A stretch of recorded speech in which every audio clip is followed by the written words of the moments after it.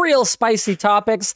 I am on a two week streak of having no hot takes on the WAN show, and I'm afraid that it is about to end because I am angry. Yeah. I dropped in on Anthony's short circuit unboxings of both the Mac Studio and the new studio display. And I think it would be fair to say that I was quite upset by both of them. Rage inducing? But for one of them, I was upset in a positive way. Oh, whoa. That's Oh. right. We're also going to be talking about the million dollar unboxing. What else we got? That sounds cool. I have no idea what that is. Xbox Cloud Gaming beta on Steam Deck. I should have seen this coming, but didn't. I don't know why, but I, sick, I didn't see it coming. Also, uh, Dr. Disrespect is developing an FPS game that will give fans the chance to win an opportunity to buy an NFT. That's not a news topic. That's just.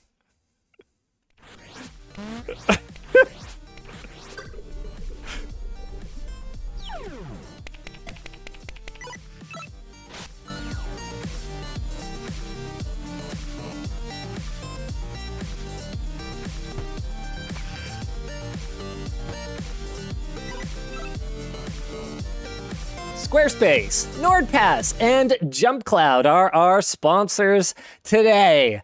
Let's jump right into the first topic. Obviously, we talked previously on the WAN show in well, reasonable enough depth. You guys, you guys, you watched the Apple event, you know what's going on.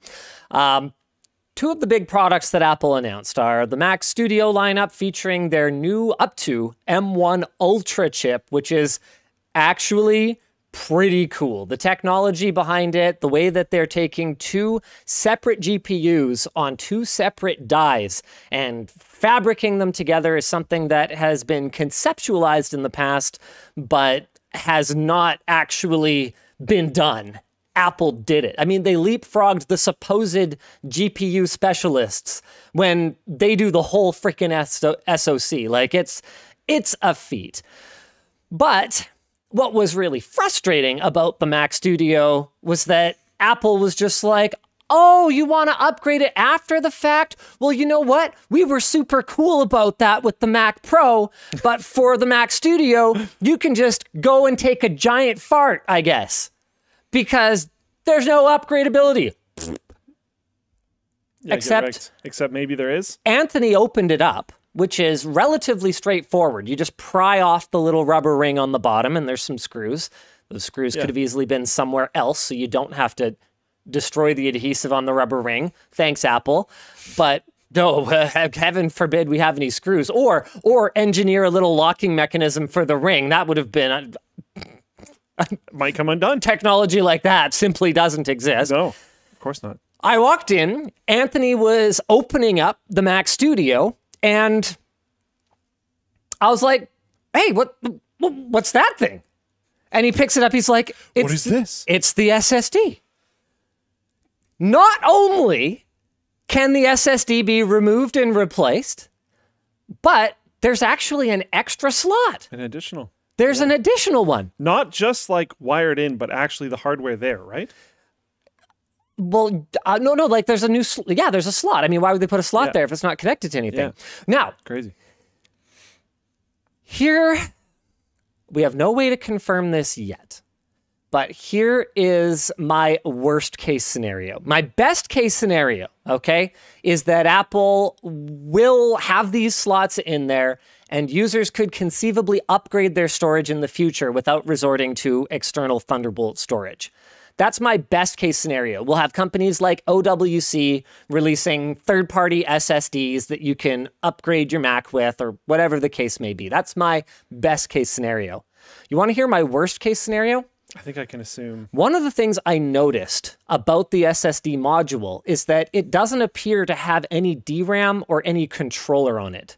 Now, there are DRAMless SSDs these days that you can achieve reasonable performance with. And Apple does have DRAM right on package on the M1 series. So conceivably, it could be using a small carved out amount of Yeah. its own DRAM to fulfill the same function. Kind of actually, I kind of doubt that one to be perfectly honest with you, but it, but it is conceivable that they could be doing that. And we also know that the M1 SoC, the the M1 series SoCs, contain SSD controllers. So it is my worst case doomsday scenario uh, guess that Apple may actually be locking the capacity through firmware with the excuse being encryption and security, Right. Which is a commonplace excuse. in spite of the fact that clearly it has not one but two SSD slots. Back to why it might have two. Why would you have two if it's not upgradable? Surely Apple would only ever put in one, unless these are just dumb. They're just dumb NAND packages that the SSD controller interfaces with. And if there was any kind of change and a proper handshake didn't occur between the controller and the packages, it would just not work.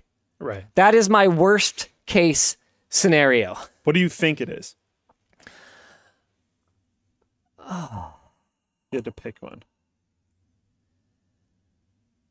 And not like pick one that you want it to be, but what, what one do you like suspect is going on?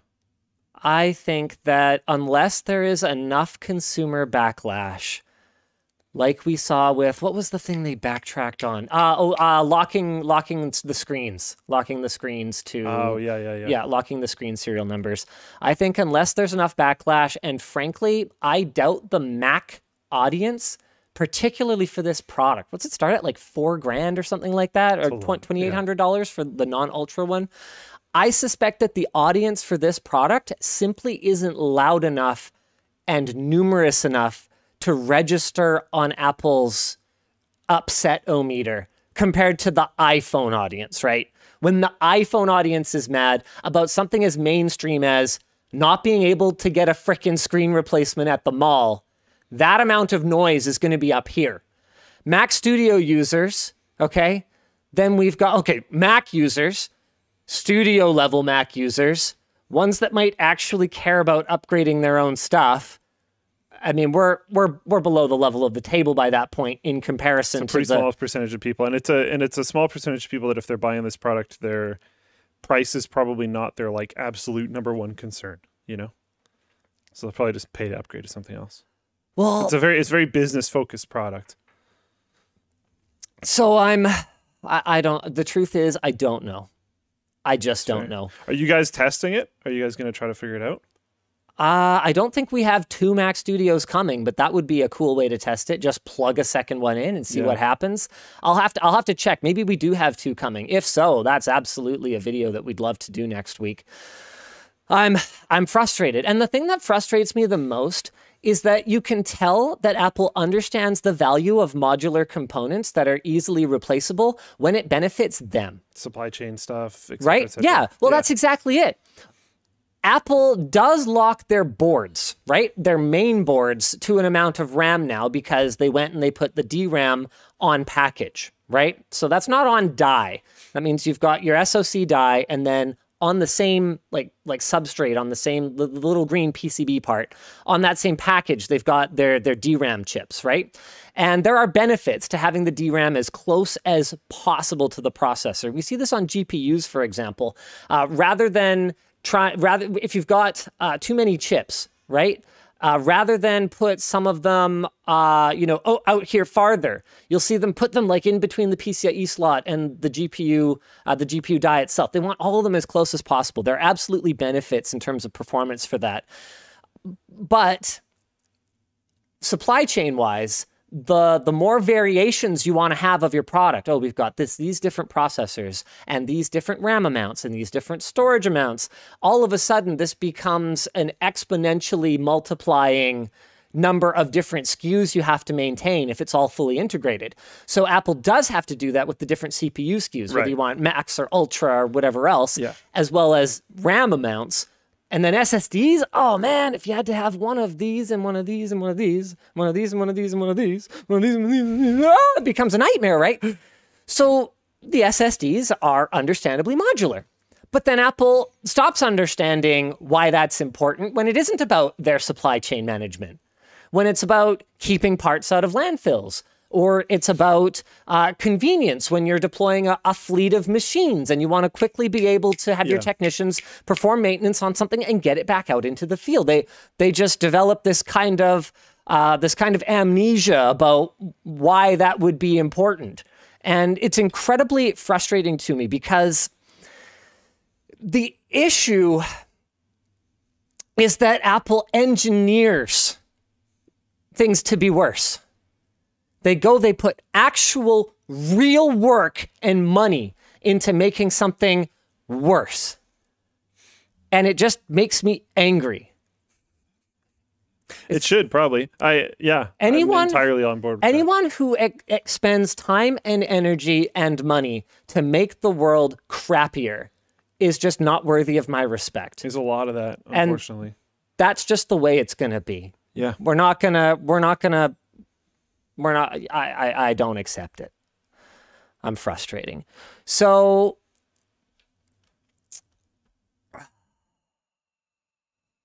Moving on. I don't have any counterpoints. It, I I hate that kind of stuff, so I disagree with you. I haven't watched Marques's video, but a lot of people in Floatplane chat are talking about it. Something about giving them a shout out for environmentally friendly packaging, but then saying, "Oh, but you can't upgrade it at all." Yeah, I mean, it's a very mixed message, isn't it? The impact of a little bit of plastic compared to the impact of e-waste is not even close. I think the environmental friendly packaging is very easy very uh what do you say that high visibility win. Yeah. And the non-upgradability is is a lot under there. Yeah, yeah, not a lot of people are necessarily going to notice it but the impact is actually higher. Yeah. Um which just really sucks so yeah some people in the in the chat are saying this take isn't very hot um, well, I'm I'm feeling hot. I'm. So the I, I, yeah, I think the anger and the frustration is high, but I think a lot of people agree with you. I am on. now, and then and then. So the the best part of this is that I was on my way to the million dollar unboxing. Yeah. okay. I walked through the Mac Studio bit, and I was like, "What?" and then I was walking back from the million dollar unboxing to the WAN show, and Anthony had moved on to the new studio display. And Anthony pulls me over, and these are things that I, I haven't really looked at in detail yet. I, I have been sort of unplugged for the last little while. I haven't been on social media a ton, and I so I, I wasn't ready for this. But he he he pulls me over and he goes, "Yeah, what do you what do you think?" And I'm just I'm like kind of looking at it. I'm like I don't know. It looks kind of like uh, kind of like an iMac, but like you know thicker and Mac Macier, iMacier. Sure. Um, and he goes, "Oh yeah, well, what about like the power cable?" Um, uh, and I'm like, "Oh yeah, okay." And so I, I'm like, "Oh yeah, it's nicely braided," and I I I look at where it goes into the back of the machine. Machine. I'm like, yeah, the tolerances on the uh, I don't know on the plastic molding are pretty pretty nice. I go sure. pull it out. It's like not coming out. I'm like, oh, is there like a locking mechanism or something? He's like, nope. I pull a little harder the power cord is fixed. The six foot power cord. oh no. I thought this one was good. is permanently attached to a thousand plus dollar product. I thought you said you liked this one. I thought it was one bad one, one good one. No, no, I was happy about the potential modularity of the Mac Studio. Oh. The studio display? That's an atrocity. oh I man. Mean, hard wiring a monitor? it's been a long time since uh, I've I've had to do a cable repair. Are you actually stupid? no, uh, for serious though. No, that's really brutal. They even I, I don't get it. They even engineered a MagSafe like power delivery system. Yeah, they have like they for the M1 iMac. They have some of the best cables in the industry. Lightning was a fantastic. There's no way that this monitor draws more power than an entire fucking computer.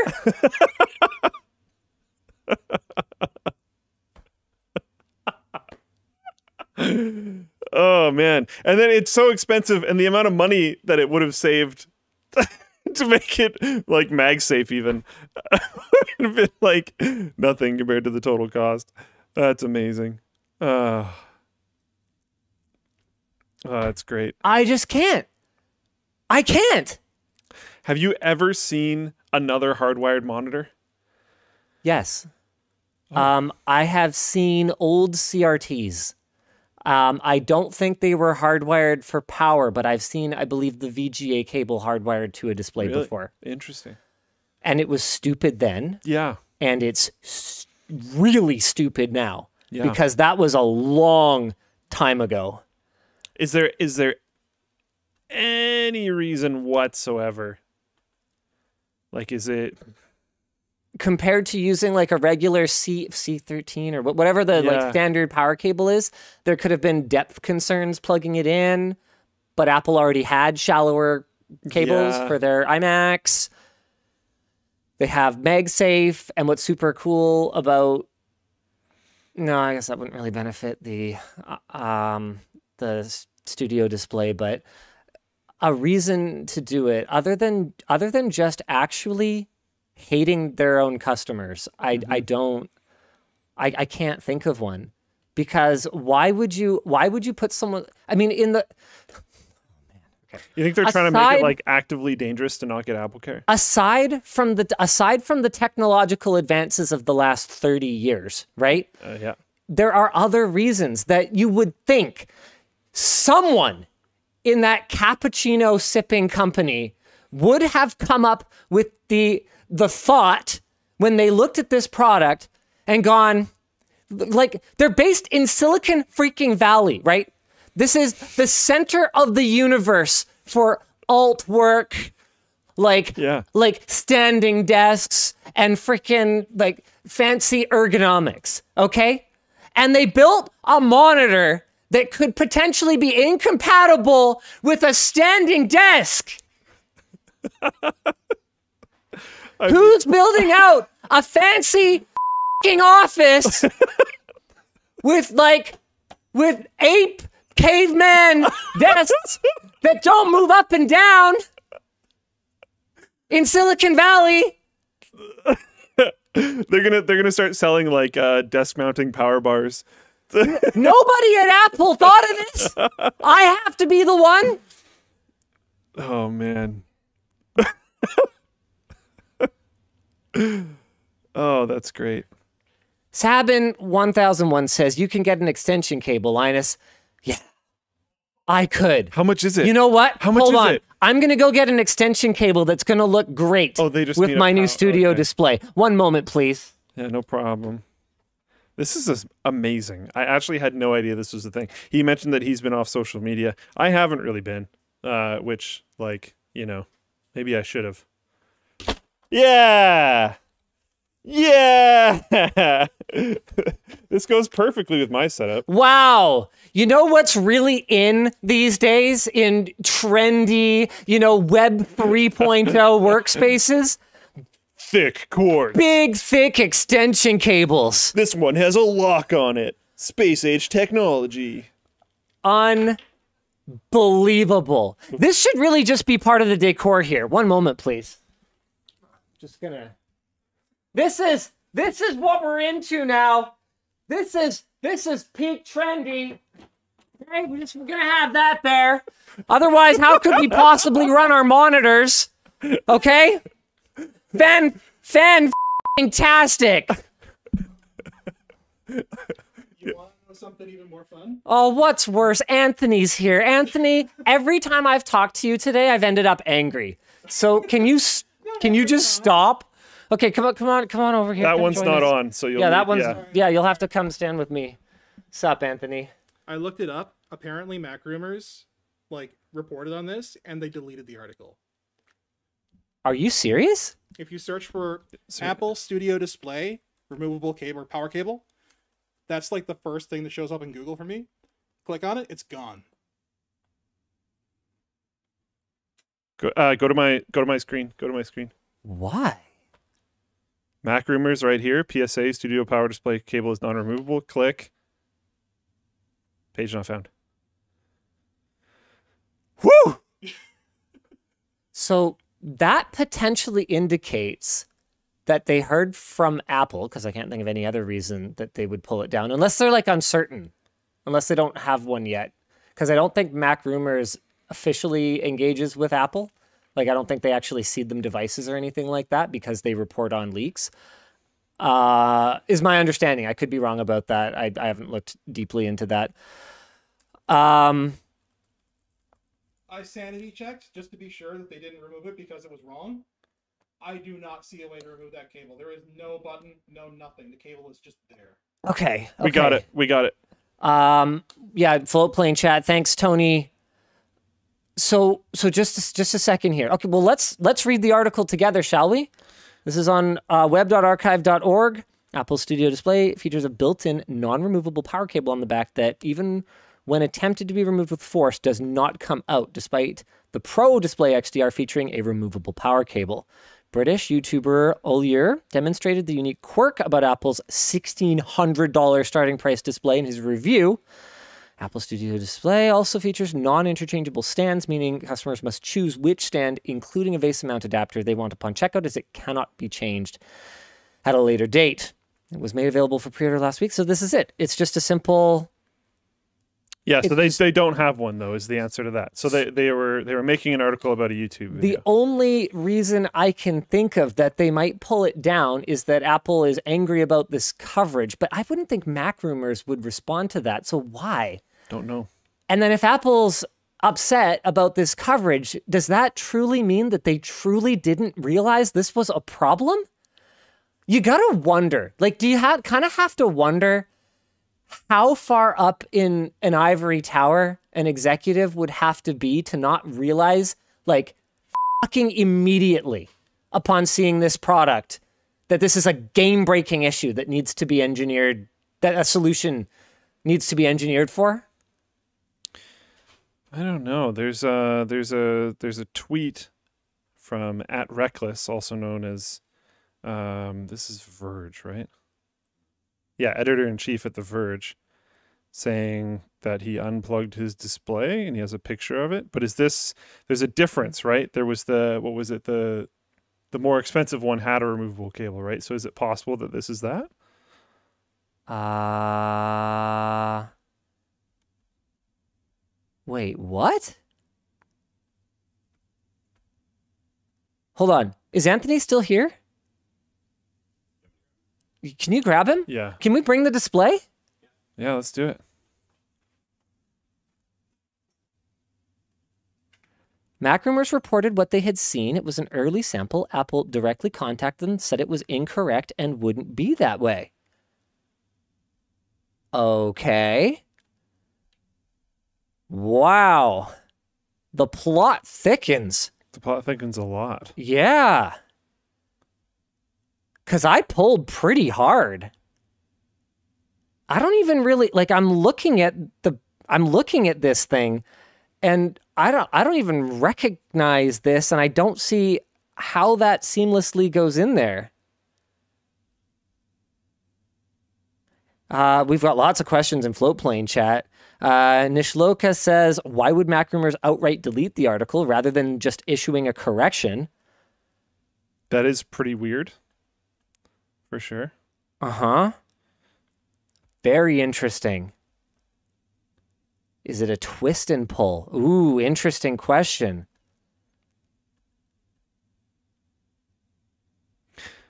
Is it? Yeah. Okay.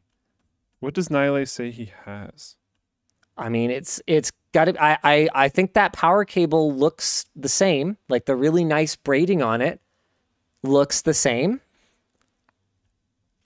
He says he has the studio display. Okay. Okay. Hmm. Okay. Apple Studio Display features not it. Yeah. Well, uh, it looks like they're going to take a minute to get over here. No, I don't have Mac Rumors in my phone list. I can't give them a call now, unfortunately. Uh, sorry. If anyone from Mac Rumors wants to reach out, I'd be happy to add you to my to my phone book. But it could be like the HomePod cable where it's not meant to be removed but can. Okay, yeah. Actually, yeah. I didn't even think about the HomePod. Apple actually has a recent precedent for a move like this. It's just so ridiculous. Okay, I'm calmed down a fair bit now. It still should have been MagSafe, obviously. Are you prepared to potentially break the monitor trying to pull it out? Yeah, Okay. yeah, I'm ready. All right. We're gonna go for it. That was something I was a little worried about. I'm trying to see the the shading in the photo is a little difficult, but it looks here? like it might be a Hey, turn. sup, Jake Bellavance? Our producer's heading over here with the monitor. Okay, you ready, Luke? Yeah. Okay. Here, let me give you some space. Oh, Okay. You want to do the honors? Me? I Yeah. can break more products. Uh, hold on. Let me just. Here we go. Uh, okay. So you guys can you guys can see it here. Oh, okay. Okay, that's why the picture looked weird because there's this oval hole in the stand Okay, yeah. So the picture's taken through the stand. taken through the stand because the stand is not removable because you know. Okay, Luke's going for it. it doesn't feel good. Can I turn it? Like, can I grab it? Yeah, you can grab it. There's a here. There's just a little mouse pad here that you can use to kind of rest it on, so you don't scratch it or anything. I mean, scratching it might be the least of our concerns at this point. Maybe he's just super jacked. Uh, you could try twisting it, like try unscrewing it, maybe. The stand being in the way is super annoying. Holy crap. Uh, I heard like the sound of things bending. Um, Okay. And it did not come out. Now, something I to feel note, like guys, pulling much harder is going to like is that damage. any excuses Apple might have about ours being an engineering sample or whatever are would be obvious bullspit because Apple doesn't seed us anything, and this is a retail unit that we purchased. it's hard to turn it because my People say twisting will break the pins. How about try push it in? Push it in first. Maybe push it in and twist. I don't. There's no pushing in. Hold on, hold on, hold on. Support.apple.com. Important handling information for Apple Studio Display. Note: Power cord is not the power cord is not removable. Well then, what is? Yeah, and like you you can mess. I don't understand. Maybe he has the XDR, or maybe he just has. Maybe he genuinely has like a weird unit. Or maybe he's just confused. Do you want to give it a shot? I can hold it. Um, It's it really doesn't feel like it's going anywhere though. Like okay, yeah, I can. I'll take a shot at it. Sure. I mean, should we just rip it off? that will I mean, we haven't uh, we haven't reviewed this yet. maybe wait for then. Um, So uncomfortable. Okay. It's really hard with the stand there. Oh god.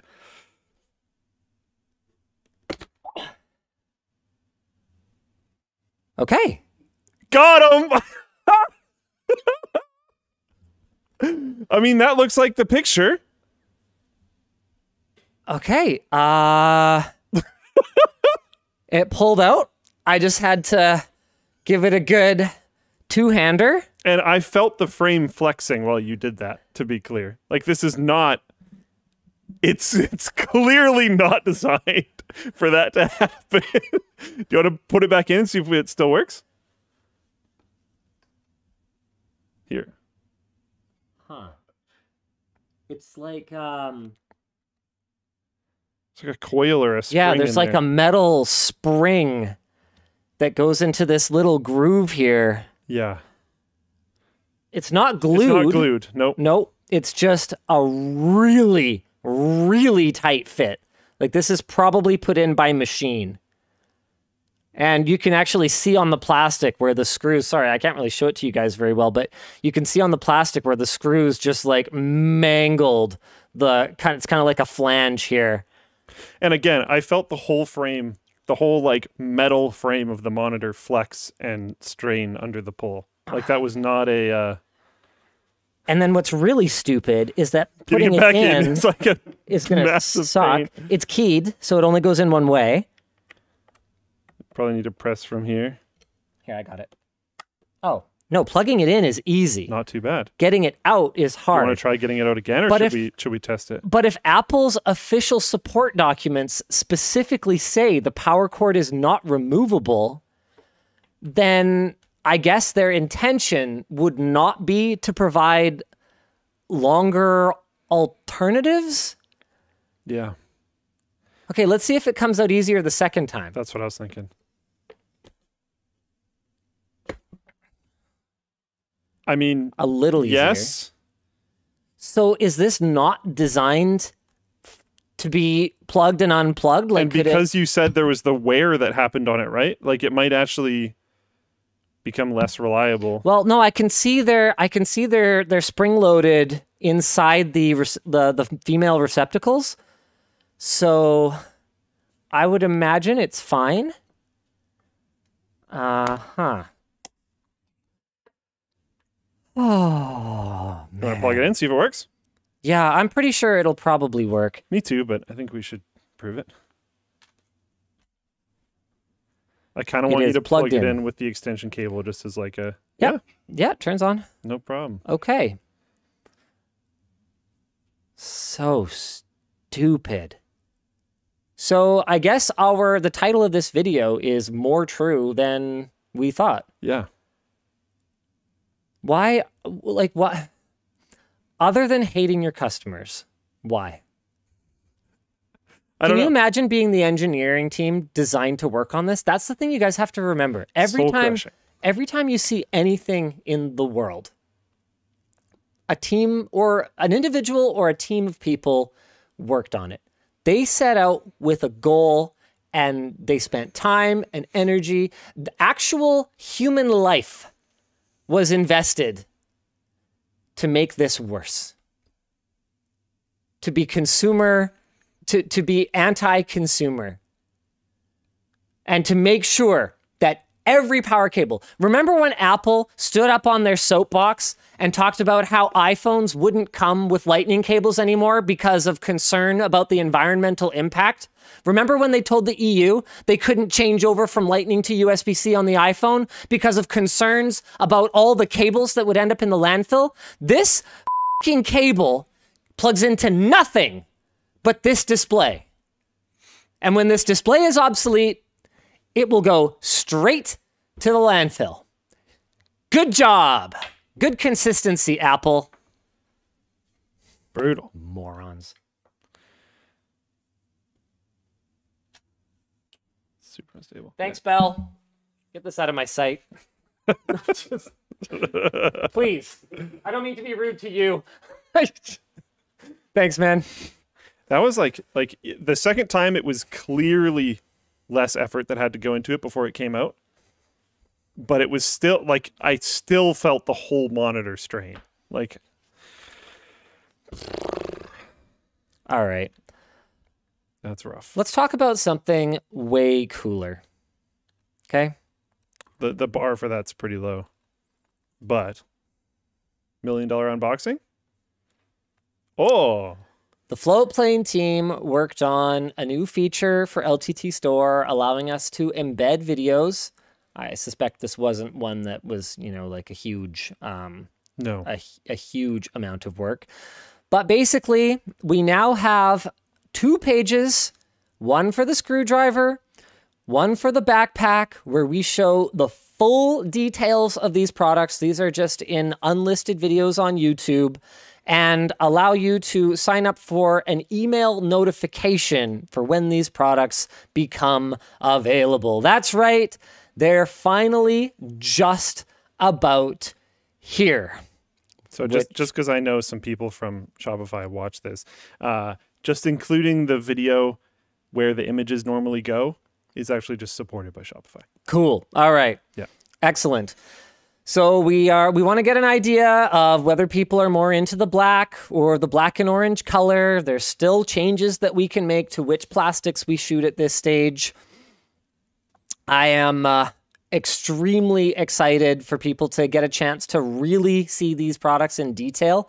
We haven't really shown them close up yet. Uh, is this uh, is this Andy's B-roll? I think Andy might have done these shots. In in if that's true, then freaking awesome. Anyway, you can pick a color and sign up to get an email when they're available. We still do not do, I just don't believe in taking your money for pre orders. Uh, the reason for that is that there are still potentially things that can go wrong. And if we're going to say don't pre order anything, then we need to, I think we need to walk that walk and not uh, solicit you guys to pre order.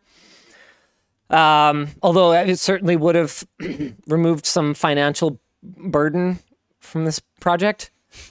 Love the bit storage, man. It's freaking awesome. Uh, let's get a closer. We'll get a closer look at the orange, the orange top here. Absolutely quality plastics and molding. I think the part of the video where I talk about that's a little bit later, but we show how it's basically impossible to find the mold seam on on the handle bit. You can if the light's right, like you can see it if you know what you're looking for, but the average person would not notice. It's just a really high quality mold. Right. Man, that's it right there. Is it glorious or what? Do you have one yet? No. Oh man. Oh man. Yes, it's expensive, but there's a lot of things about it that were expensive. There was a lot of tooling costs. Every one of these components is custom. We had to create molds for it. Oh yeah, here's a little here's a little tip, Apple. Um, you know, there are situations where there might be a functionality reason that you have to create something semi proprietary. These bits are 20 millimeter which is not a typical size for screwdriver bits in a multi bit screwdriver. The reason we did it this way is that the less steel you have between the shaft magnet and the screw, the stronger the magnetic pull. It's got it's super super strong magnet. Makes sense. And it has shorter tips, so the bits will. I had it happen once now in like six months of using this driver, where the bit comes out instead of the bit coming out of the screw like after you've screwed something in, it's really good. Every other multi-bit screwdriver I've ever owned, it's like kind of a problem. It's really yeah. annoying. Yeah, it's really um, weak. And it you can pick up easily pick up screws and then you know reposition them when you're building a computer. Obviously, it's built for building PCs, right? So we went with these 20 millimeter bits. Uh, the other reason for them was that we wanted the shaft to have a lower profile. And and to be clear, just because there might be some, mm-hmm. uh, you can use other bits. I'm getting to that. Okay. Yeah. Okay. We wanted the shaft to have a lower profile than MegaPro's other products, but we didn't want to give up the ability to store 12 bits in the driver handle. Now, we could have just not used this mechanism. We could have just gone like snap on and just had a screw off top and you just dump all the bits the inside. Whole, yeah. But that we we really liked this functionality. It has a really nice feel to it. It's almost like yeah. a fidget toy. Yeah. And we wanted 12 bits. We wanted this profile, and this is kind of an afterthought, the additional magnetism, but it was something I cared about a lot. I, I asked, I asked uh, engineering, I was like, look, uh, specifically Kyle, I talked to about this. I want the strongest possible magnet in there, the biggest diameter. And that was before we even talked about any of this. So we ended up with 12 millimeter bits, which meant that we had to re engineer something in order to maintain compatibility with standard bits because we care. We had to redo the mold for this in here. It used to be a circle. So it actually uh, sat in between the bottom and top bit storage. And the reason for that was to act as kind of a guide to make sure that they would stay in their own lane, right? Okay, yeah. We turned it into what we call the Ninja Star. And the reason for that is that it allows you to put a full length normal bit in here up to 40 whatever millimeters, um, 40 something. Uh, so it allows you to put a larger bit in here if you're willing to only accept six, and it'll just clip in on both the top and bottom pieces here. So you can engineer for improved compatibility, or you can engineer for worse compatibility. There are actually two ways to do this. Hex Dot says Robertson bits, but no Torx. Dot dot dot. We are going to have bit packs available at launch that will allow you to build any bit loadout you could possibly want. We're going to have pretty much everything for it. And they will be very reasonably priced because we know that the screwdriver is already a significant outlay for you guys. Yeah. Uh, yeah. So we're we're super excited about people being able to have their own custom 12-bit loadout exactly the way that they like it. As for the backpack, Yeah, this one I'm super excited about. We know it's really expensive. We are well aware of that. This is a really high quality bag. I am absolutely jazzed for you guys to see this thing.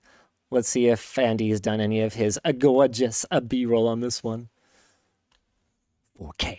Get that 4K. Oh, yes. You're going to have to watch the video. This one's like nine minutes long to get through all the details of what makes this thing special. But it's just carrying capacity, That's build sweet though. If, quality. you- if you're interested in this product, like that's exactly what I would want. Yep. I just kind of I- basically it's a what's in my bag video because I've been using our latest sample of it for I guess not that long for this version of it, but I use every version of it. I just daily drive it so that I can bring feedback back to the team. Hey, this zipper pull is a little bit difficult. Uh, or, you know, I really found I didn't end up using this pocket. If it was easier to reach, that would be way better. This zipper should go the other way. Just little things like that that I try and try and get back to them about as we have made our way through the many, many revisions of this product. Orange inside, that's for you, Luke. Yeah, I know you're a fan. I actually just love that so much. I don't know.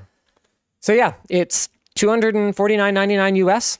It's a lot of money, but we believe that it's competitive with bags that are a lot more expensive than that. Yeah. Yeah. So is that so? What did that have something to do with the million dollar unboxing, or was that just its own Nope, topic? that was just Okay. a more, more better topic that I would rather talk about than, than Apple just being mean and rude to their customers. yeah, fair enough. All right. I uh, I there's something wrong with my laptop. I cannot open any additional pages. Oh, Um, cool. but but should we should we do like like three to five merch messages real quick? Uh, yeah, we should. Yeah, Oh shoot, I did not reload the page. I guess I don't need to. You're uh, probably yeah, fine. this seems fine. Cool. Spicy Olive says, podcast consumer here. Can't wait to see this message in four days. Sup, Spicy Olive? Thanks for making Toronto traffic more bearable. What was it that you used in your house again that was proprietary? And have you solved your signal conversion to Home Assistant? I haven't yet. It's an American standard heat pump system. And Jake and I have some work to do on that. Drew L.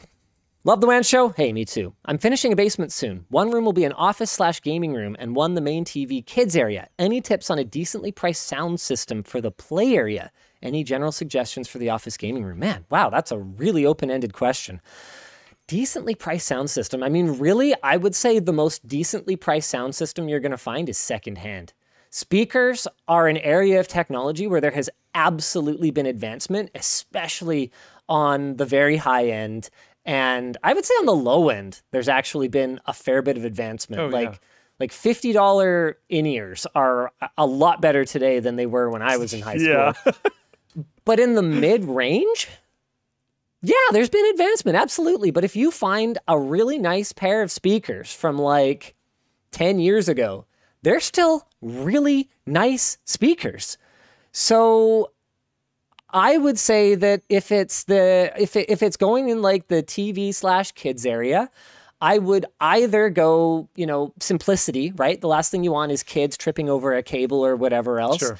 And I would get like a Knocking over a speaker stand. yeah, I would get a decent soundbar. Soundbars are an area that have improved a lot in the last bit. I'm really impressed with the Sonos Arc, although it's very expensive. It sounds amazing for a soundbar. I like hated soundbars when they first came to market. but They were they're- awful. They're great now. Sony has a super cool product. We did a sponsored video, so take this for what it is. They're not sponsoring anything about what I'm saying right now, um, but Sony did a uh, Sony sponsored a video on their what's it called HTA9 or something like that. But it's it's a soundbar that has no bar. You just put four speakers around the room, and they do a calibration with each other, and you can kind of put them anywhere. You don't have to. So if you have one like kind of a little to the left and this one kind of way out to the right, and then these two are kind of at the back, they just do some some DSP funkery and try to compensate for the size and shape of the room. So if you want surround, Funky. that's a really cool way to go. If you're just thinking like music, like ambient music, or putting on kids songs, um, picking up an old Sonos amp, uh, but one that is still compatible, getting the oldest one that's compatible with the S2 version of the app or is it called S2? I can't remember. But the, the newer replaced version of the app is another little pro tip. I got some for cheap on eBay. I did a video about that when I put in ceiling speakers in my house. You can find that one. What else can I what else can I really say at this point? I don't know. Um, Your your dad's old speaker equipment is probably still good. Yeah, that's a that's a really good way to go. Man, don't buy a receiver new if you don't need the latest, you know, HDMI version or whatever else. Like if you just if you just want amplification, you can get super high-end receivers from many years ago that have just ballin' amplifiers in them, but don't support the latest Atmos. And if you're just trying to drive a, like a nice pair of bookshelves, man, freaking awesome. I still run Linus's old one. Uh, yeah, yeah, I know you do. there you go. That's, I guess, what I have to say about that. Uh, any general suggestions for the office gaming room? Make sure you put in enough Ethernet.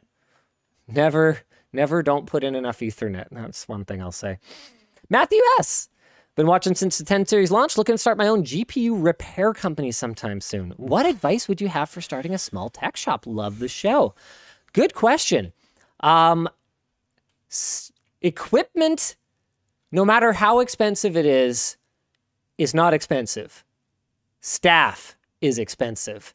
Like, do you know how much Luke a Luke costs to employ for 10 years? You know, I'm I'm serious though.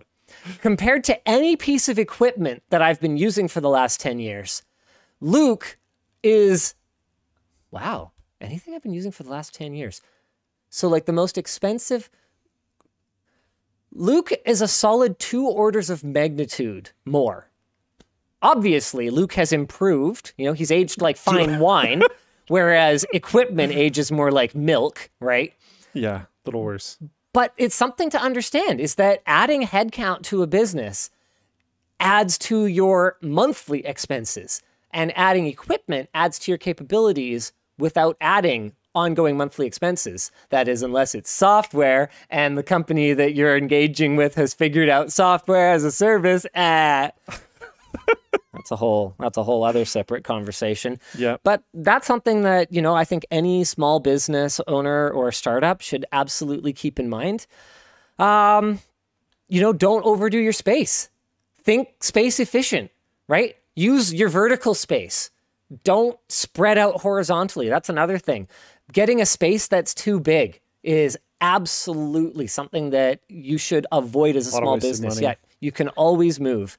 Um, what else could we? And, could and we while while equipment and machines and whatever has maintenance cost, uh, employees generally expect raises. But at the same time, if you don't have anyone helping you, if something happens to you, even if it's temporary, say you get knocked down with uh, with long COVID or whatever, right? And you get knocked out for two weeks to a month.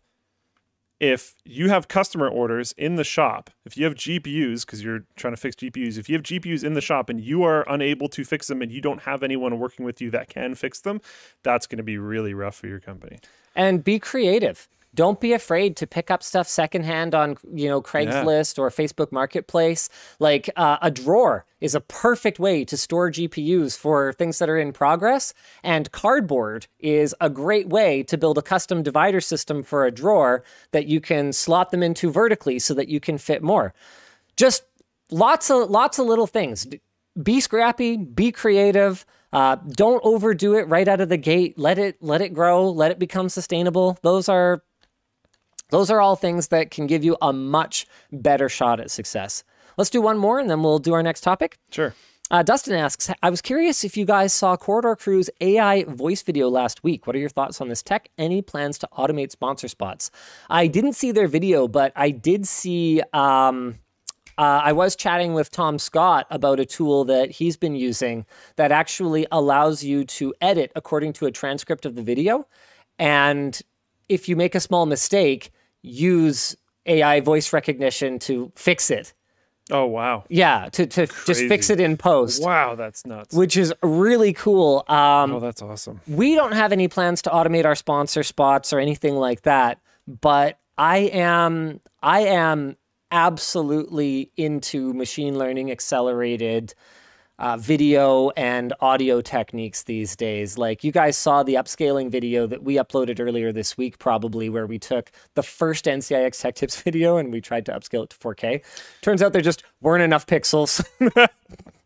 it ended up being nightmare fuel, but Yeah. with something that's like 720p source, man, the results are kind of amazing. You don't have to be a hundred person, you know, digital art studio these days to generate those kinds of results. It's it's just it's really cool. Let's move on to our next topic, shall we? Yeah. Do you want to talk about the million dollar unboxing? I do. What is it? Okay. We have been working on this project for over a year. And the genesis was Kioxia, formerly Toshiba. Yeah. Yeah. Okay. Kioxia flash memory and SSDs. Kioxia wanting to sponsor some kind of prod cool project. And I just I threw out an absolute just long shot. Long shot idea. Because one of the things that was more commercial slash enterprise storagey that we did that was really successful was the petabyte project right? Where we deployed a petabyte of storage across two uh-huh. 45 drive storinators. Problem is, Kioxia doesn't make hard drives. Kioxia makes SSDs. So I was like, man, you know what we should do? We should do a server with a petabyte of flash. And they were like, okay. but here's the thing you can't just put a petabyte worth of SSDs Yeah. in a server, Yeah. right? You can't just you can't just buy like NVMe JBODs and just stack more SSDs. You would the by the time you installed that many SSDs, you'd be getting a small fraction Yeah. of the maximum performance because no CPU exists with enough PCIe lanes and enough compute to run that kind of data through it. Like, so we it required it required partnership with AMD, uh, who provided a total of 512 EPYC CPU cores across all of the CPUs, 512 cores. Okay, the whole thing has literally terabytes of RAM. Terabytes of RAM. Okay, we've got uh, eight NVIDIA A100s. So those are what are they like 400 watts each or something like that? They're they're AI accelerators. uh, a total of seven servers, a petabyte of flash. Obviously, a custom power solution because the whole thing sucks like 10,000 watts. We, we didn't have anything to plug it into. Uh, and Jake and I unboxed it. And the idea is that we should be able to get at least close to the maximum theoretical performance of our flash array That's insane. by by architecting it this way. Uh, Supermicro was involved. Uh, Micron was involved. Uh, I think, yeah, I already mentioned Nvidia. Uh, Infinite Cables had to build a custom cable for us for for just to power it to, to plug into the only like 30 amp 240 volt plugs that we have for our machinery in the shop. It's wild. Uh, oh, uh, Infinite Cables also built us a fiber optic cable to run from the shop to our server room so we could actually like edit off of it. Obviously, we're not even going to touch the capabilities of this thing. We're going to have to do like some AI benchmarks and stuff like that. yeah. Yeah. It's going to be a whole series of videos, but I am so excited. Gondomar and Philip chat was like, Linus causes the singularity. Yeah, I'm so excited. This will be beyond a shadow of a doubt the most powerful hardware that I have ever touched and probably will touch for the next three to five years. It's insane. Uh, I, I'm pretty sure it's raw, but someone's asking one petabyte usable or raw. Uh, I don't know yet. I guess we'll find out. Wow. Yeah. I'm, I'm not actually sure. It's been a long time since the last call I was on. Jake has done most of the coordination on this project. Okay. Oh man. Yeah, I'm I'm absolutely jacked though. Jacked. Uh, Bean seven ten asks, "Do you get to keep it?" Are you kidding me? Kioxia might leave us with some drives, but beyond that, no, no, no. I mean, that'd be awesome, but no. Oh man, the uh, the Switch that uh, sorry, not Mellanox, Nvidia. They acquired them. The Switch that Nvidia sent over, network switch, does multiple terabits per second of switching. Terabits. multiple terabits. That's pretty wild. How long do you know how long you're going to be able to keep it for? I don't know. There's no there's no firm end date for when we absolutely Sure. have to box everything back up and send it back. Yeah. It takes up a lot of space. They sent over an entire rack to house the thing. Well, right? Because I mean, it makes sense. It's just yeah, just nuts. one U of switching. We've got six U's of of one U dual dual socket EPYC servers. Then we have a four U that contains two more EPYC servers, uh, two terabytes of RAM, the eight A100s. Like this thing is knocking futs, and I'm so jazzed. I'm so jazzed. You guys are gonna love it. Whole series of videos. So the first video is us just basically uncrating the thing you wouldn't believe how much the compute unit weighs.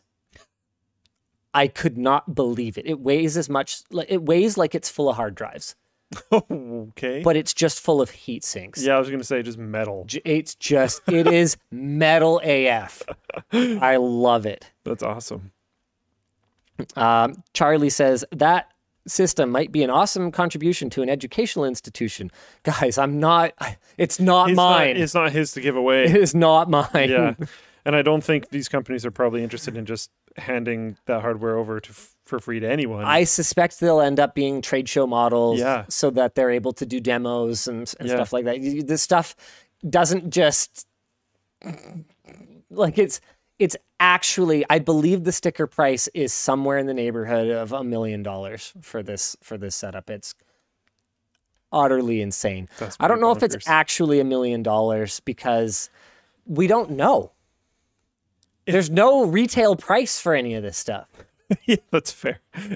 Honestly, there being no retail price probably makes me assume that it's uh, even more because anytime you get custom stuff done, it's super expensive. I mean, the engineering that went Yeah. into making this whole thing run at that kind of speed. Like I said, we could have easily just put NVMe SSDs into an enclosure And just had it not had really work very well. Yeah, yeah, and had it limp along at you know Yeah. a hundred gigabytes a second or whatever. You know, like Which sounds cool. which is a lot. But, But comparatively do- to what it should be able to do, it's like nothing. Exactly. This Yeah. is going to do way more. Yeah. Linus, you must buy it. Don't send it back. If I spent a million dollars on a petabyte of SSD storage that consumes up to 10,000 watts, which obviously we have to pay for power for, my wife would probably divorce me. she wouldn't, actually. Speaking of ways to not She'd get be divorced, furious. Um, she would be response. really mad. She'd be like the ki- she'd be quiet mad. Ooh, Yeah, yeah, that's scary. like that's not even. You that's not even. that. Yeah, Yvonne and I don't have a relationship that's like you know, you do a thing wrong and you get divorced. I mean, neither of us has ever even slept on the couch. Like we have a, you resolve something until it is resolved and then you move on from it kind of relationship. Um, but she'd be really mad, super mad. Yeah, she'd be mad. Uh, sorry, what do you want to do? Sponsors. Oh yeah, yeah. She'd be mad if I didn't if I didn't talk about our sponsors too. Exactly. Got to talk about them sponsors. The show is brought to you by Squarespace. If you're looking at creating and sharing your own content online, give Squarespace a try. Squarespace is the all in one platform for building a top tier website and growing your brand. You can upload or embed your video library and organize it in one of Squarespace's best in class templates to explore the new ways that you can monetize your content. You can both display your social media content and push website content out to your channels. Plus, with their member areas, you can unlock a whole new revenue stream for your videos by allowing you to post exclusive content behind either a subscription or a one time fee. And Squarespace's analytics and insights ensure that you're optimizing your website every step of the way. So go to squarespace.com forward slash WAN and get 10% off today. Luke, you're going to have to do the next read because G Suite signed me out in the middle of a sponsor read. Okay. JumpCloud. If you've been in IT for any length of time, you probably know how important community is to just many of us. It brings us together like our love of bacon, sci fi, and gaming do. It's this is the, some weird talking this is the official sponsor read. Uh, it's part of our DNA. JumpCloud knows this and wants to give back to IT admins by creating a forum that welcomes and encourages the sharing of ideas, asking of questions, and connecting with others. In the new JumpCloud IT community, we have spaces to talk about the big IT topics hardware, software, network, security, and best practices. And as the discussions grow, so will the topic areas, and you can suggest more. There's a lot to navigate in today's IT career. Come talk with your peers about navigating changes, keeping up to date, and networking. See our career spotlight and advice columns launching next month at community.jumpcloud.com or at the link below. Finally, the show is brought to you by NordPass. Do you use your Facebook or Google account to log into every new website or app you visit? It might seem faster and easier, but what happens if Facebook or Google, you know, have suffer some kind of breach and your account gets compromised? Hmm, yeah, that's actually a very good question. Anyone who gains access to that account could have free access to dozens of other accounts too. NordPass can help you avoid a situation like this by helping you create unique, secure passwords or passphrases, really, is what you should be using for all of your accounts online. It'll recognize your favorite sites and autofill your information, and their built in password generator helps you make new complex passwords. You can easily import passwords saved by your web browser, which is also, don't, don't please don't just save in your web browser, or import CSV files from your old password manager. You can access your login credentials on any device, even when you're offline, and it features data breach alerts, password health reports, and up to six active devices. For added security, NordPass uses zero knowledge architecture, so your data is encrypted on your device before it reaches NordPass's servers for backup and sync. So get 70% off a two-year NordPass premium plan with an extra month for free at nordpass.com slash WAN, and make sure you use code WAN to take advantage of a limited time offer. Man, I just feel spent, you know? Like this topic, this is all the notes on this, guys. Apple lied and is dumb. But just, I just, I've used up so much of the energy that I had for the show today. We're just going to have to Just chill. Yeah, we got to chill. We got to chill for a little bit. I think the remaining topics are pretty chill. Okay. Um, you want to start us off on something cool? Xbox Cloud Cloud Gaming beta on Steam Deck today. Yeah. Uh, Microsoft cool. announced a beta version of Microsoft Edge for the Steam Deck. Uh, I'm always I'm always trying to say Stream I know. Uh, that it will enable Xbox Cloud Gaming with Xbox Game Pass Ultimate on the device. That's huge. Microsoft uploaded comprehensive directions showing users how they can install Microsoft Edge and enable, of course, you have to install freaking Edge, uh, and enable Xbox Cloud You didn't expect them to be totally naughty. Uh, right, just like come on. I have a Linux device. Do I really need Edge to follow me onto this Linux device? Come on. Um, there are quite a few steps to configure it, including some command line typing, wow, and shortcut making to put it on the front screen. Uh, related slightly earlier this week. Oh, right. Yeah. Google product director Greg Hartel announced that the Steam on Chrome OS alpha launched, despite it not being ready for testing and also despite it probably not working on most Chrome OS devices. But sure, it's coming. Yeah. And there's a discussion topic here to talk about uh, does cloud gaming on the Steam Deck actually make it more compelling? Is Microsoft's aggressive push to put Xbox Cloud Gaming everywhere uh, going to pay off, especially when the Steam Deck is uh, kind of sold on the hardware that can run games locally? Well, the Steam Deck, in my opinion, while Valve does focus on running games locally, in my from my experience using it, it's such a compelling device for local gaming, network gaming, and cloud gaming that Just all the above. yeah, I think it's Why just all of the above. Yeah. Yeah. Like Steam, oh, I can never remember what the it used to be called Steam in home streaming. So that's what I'm going to call it. Works great on the deck. Like great. The H264, or I don't know if it's H264 or H265, actually. I should check that. Um, but whatever their hardware decode is on that custom chip from AMD is great. The latency is great. Uh, you know, I played Halo Infinite on it, competitive shooter, and besides, you know, crappy joystick controls, Yeah, yeah, yeah. it was great. Um, and you know, the same can be said of something like Xbox Cloud Gaming, yeah, you're adding latency. Absolutely. But cloud gaming will continue to improve and Yes. it could easily get to the point where we're only talking another couple of frames of latency and it could be it could be better than playing on an old flat panel TV, honestly. And and I think to the core question, does cloud gaming make the Steam Deck more compelling? Maybe not to you as an individual, but I guarantee you it does for someone. For the mainstream, absolutely. One thing that I really hope is that this doesn't become an excuse for companies that have cloud gaming offers to not push to make their games more compatible with being natively played on Linux, aka SteamOS mobile gaming. That would really frustrate me if this ends up becoming a reason that Oh, gaming on Linux doesn't game. experience its big big renaissance. Yeah, that would be genuinely very frustrating. So I hope that's not the case. But if that's not the case, then yeah, why not? Being able to do more stuff on it sounds great. I don't see any negative towards that. I'm not a huge fan of that type of stuff. I, I don't like subscription services for games.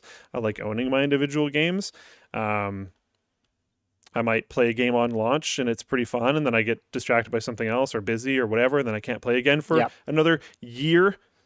And I don't want to buy another subscription to be able to play that game that I already paid a subscription to be able to play in the first place. Like I find that very frustrating. So, um, yeah, it's not a huge thing for me personally, but I like that it's an option because I mean I know people that use cloud gaming services. Yeah, especially if you use Game Pass. Game Pass is an amazing value. Like, It is. I can't I can't say it enough. It's an amazing value. Yep. Just wait until, you know, wait wait a few more years, right? Netflix used to be an amazing value. All your content in one place with one low fee. Now Netflix is like over 20 Canadian dollars and Just doesn't include content up. from anyone else. And some of the other providers are starting to bundle together their services. It's becoming a cable package again. Yep. Ah! Yeah, it's brutal. But um yeah, I don't know. Options options are cool. Why don't I have more options? Uh we can probably skip that topic cuz it, it's just lame. Which one? The Um, Dr. Disrespect one? yeah. Oh, we're talking about that. Okay. But you want to first- talk about or uh, yeah. Sorry. First, I want to talk about AMD confirms Ah. no overclocking support on the Ryzen 7 5800 X3D. That's right, AMD's hotly anticipated 5800 X3D, the first production CPU with 3D V-cache technology, now has a release date and a dark portent of things to come. This is definitely written by Anthony. Yes, it was. It's essentially a 5800X, 8 core, 16 threads, but with lower core clocks and a mind boggling 96 megabytes of level 3 cache, up from just 32. AMD says the extra cache is meant to improve performance with discrete GPUs, although it's not clear how it will interact with the recently released Direct Storage API and future titles that will take advantage of it. Oh, by the way, we have a video coming about that that we just shot today. Anthony researched uh, and shot it, so he'll be hosting it. Before we get too doom and gloom, I want to insert one note that's further on in the doc that says AMD promises that this is a one-time limitation for this specific SKU, and it will be overcome by uh, the time future 3D V-cache CPUs launch. hmm So this is, a, I mean, it kind of feels like this product is like that. a is uh like a stopgap solution, Yes. like a, like a Frankenstein. Just okay, we wanted we wanted That's the vibe something to respond to the twelve nine hundred K, and this is going to be it. It's going to be available for 450 US dollars on 420. Nice. And AMD says it will be the new world's fastest gaming CPU, but it will also be the first consumer Ryzen chip that won't be overclockable. Which again is a little rough, but So the reason for this is that wow, you can't even change the voltage. Nope, The reason for this is that the cache needs a strict voltage limit of 1.35 volts. Interesting. Infinity Fabric and memory overclocking is still supported. So you could push your memory speed super hard. Very interesting. which does matter. I mean, the reality of it is traditional overclocking on Ryzen is kind of a dead meme anyway.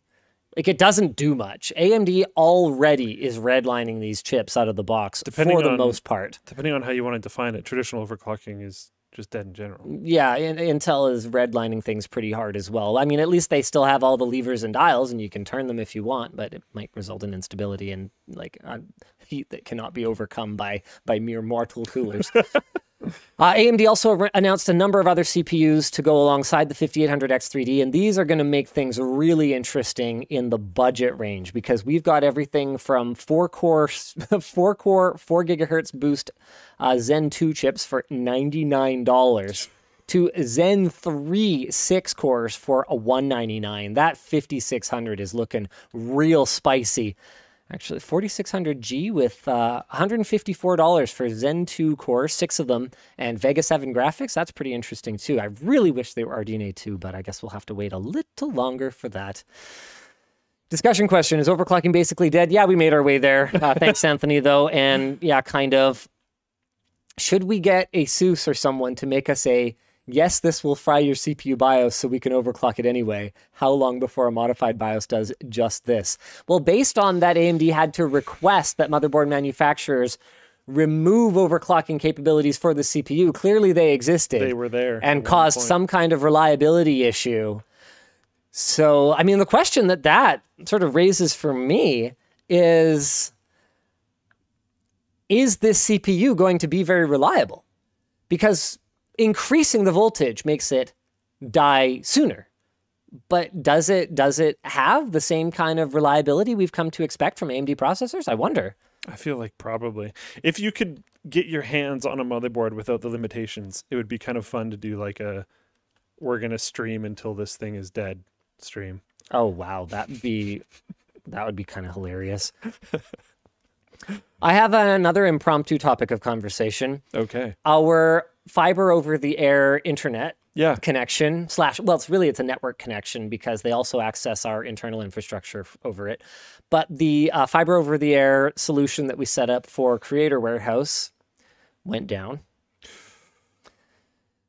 but i was still right because the reason it went down had nothing to do with Ubiquiti's dishes and everything to do with the fact that um, Jake scrounged together SFP to RJ45 adapters, like modules, that were not technically spec'd for quite the distance of our runs. Oh. And so it flaked out. So we replaced it with ones that were spec'd for the right distance, and it has been back up and running smoothly ever since. Sweet. Yeah. So I man, I'm so stoked on not having to just buy a new internet connection for that place for no reason, and the fact that it's faster, and the fact that just with zero pain whatsoever, they have total complete access to our internal infrastructure. Like for their computers, they just plugged them in over there, plugged them into the wall, and they might as well have been in the same building. so cool. Having like local networking across multiple buildings without being a campus is just like super sick. That's awesome. I know, right? Yeah. We're gonna do it for the lab too. Yeah, that's put sweet. another dish on the roof. Heck yeah, boys. We're gonna have like we're gonna have like eight dishes on the roof of the main building at some point. and then oh man, oh man, when we have like a bigger office someday, we'll have to make sure that it has line of sight to this one, right? Put like a big tower on the top of it, right? You're gonna and end then up having buildings that look like research centers. we'll have like, mul- yeah, we'll have multiple hops because we'll we'll we'll have all the storage at the main one, and we'll just we'll have like offsite satellite storage. All that. Oh, it's gonna be amazing. nice. Under parking lot, dark fiber. When? Uh, okay, so I don't know if we actually talked about it in the rooftop air fiber video, but I think conceivably it could be possible to stealth bury an armored fiber cable between here and the lab and do like 25 gig from here to there. You probably could. Yeah, you could probably get away with that. If you like showed doing that, that might be, you know, not great. But you could probably get away with it. Yeah. Yeah, that'd be sweet. Yeah.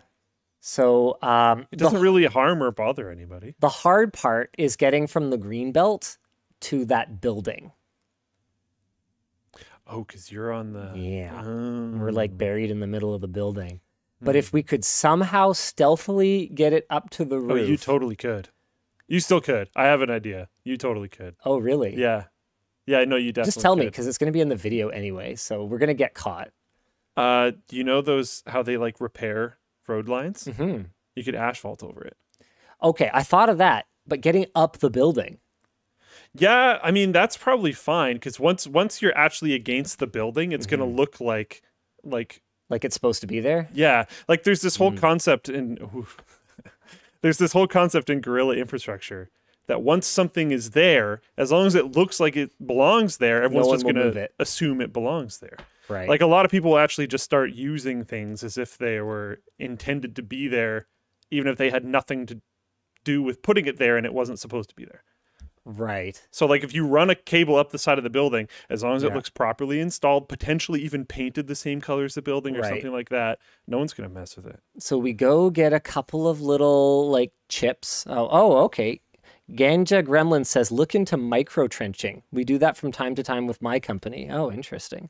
The pros and cons of micro trenching. That's a little spooky because that is uh that could potentially be seen as like actually damaging pre-existing infrastructure. Mm-hmm. Uh Wow. All right. Anyway. Yeah. Um, it's almost all soft ground from our building to there. yeah. Which is why we think it might actually There's might actually very work. little non-soft ground. Yeah. So I don't know. We'll see. Uh, Theorica says, be careful if you're going to do any digging. You can get in a ton of trouble. Uh, stuff that isn't buried too deep that you definitely do not want to damage. So yeah. So if we use an armored cable, that's another thing. Nobody walks back there ever. Yeah. It is actually conceivable that we could just lay it on the ground. Yeah. It could Yeah. get damaged, but like, oh well. We'll have our we'll have air fiber as a backup anyway. So, so Kasama in Twitch chat, just get a real long Ethernet cable.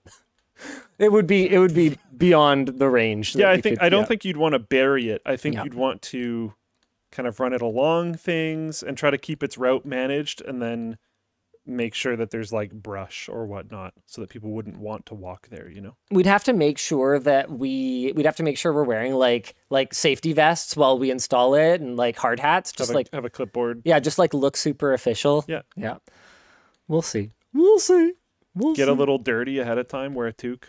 ganja gremlin says it's not that armored squirrel squirrel ella's uh squirrella's whatever chew through it all the time i think you mean squirrels True Scott says go through the sewers. Thanks, True Scott. Really helpful. Thanks for taking participating in Floatplane chat. Appreciate you. If this was a video game, they would do it that way. I swear, like almost every video game, you end up going through a sewer somehow. Yeah. It's so weird. I don't know. I know, right? I mean, the last thing, man, more immersive gaming can't come late enough for sewer levels. when they have smell-o-vision for sewer levels, it's gonna. Oh, oh boy. make sure you encrypt your traffic over it. Someone could cut and get into your network. Yep, that's good advice. Absolutely. Yep. Anything that's accessible like that, you would absolutely want to encrypt.